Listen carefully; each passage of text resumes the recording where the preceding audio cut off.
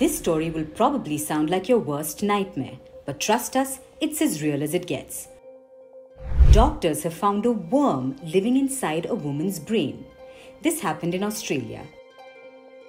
Since 2021, a 64 year old woman kept visiting the hospital for a range of symptoms, including pneumonia, diarrhea, abdominal pain, fever, and night sweats. The doctors tried treating her with steroids and other drugs, but nothing worked. By 2022, things had only gotten worse. She was now showing signs of depression and forgetfulness too, so the doctors got an MRI scan of her brain. It showed abnormalities, following which the woman got a brain surgery.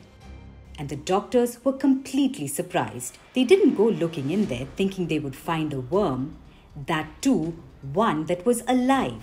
It was a 3 inch long, bright red parasitic roundworm. Scientists call it Ophidascaris robertsi. And this one had been living inside the woman's brain. But if you think this is bizarre, wait for what we're about to tell you next. This worm is found in snakes, not humans.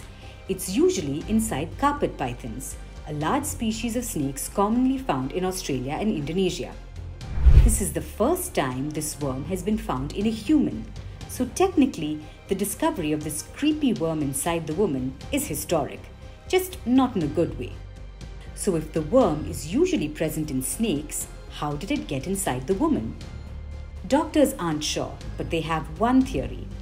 The woman lives near a lake where snakes are plentiful, so maybe that's where the parasite latched onto the woman. Doctors say there could have been another reason too. The worm's eggs could have been on certain grasses or vegetables that were later collected by the woman. It's a mystery the doctors are trying to solve, but this isn't the only one.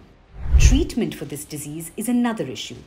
No human has ever been diagnosed with this parasitic infection before, so it's difficult to treat it. For now, the doctors are experimenting with medication and hoping for the best. But what's scarier is not this case itself, it's the fact that this incident may be a sign of things to come. Thanks to climate change, our ecosystem is under threat. Animals that were formerly found only in the wild are now moving into human populations. The case of this worm is just as scary as bear attacks in villages. The fine line separating animals and humans is thinning, and this is dangerous. 75% of all emerging infections are zoonotic, meaning they're transmitted by animals to humans, much like the Wuhan virus. So, this worm inside someone's brain is nightmarish.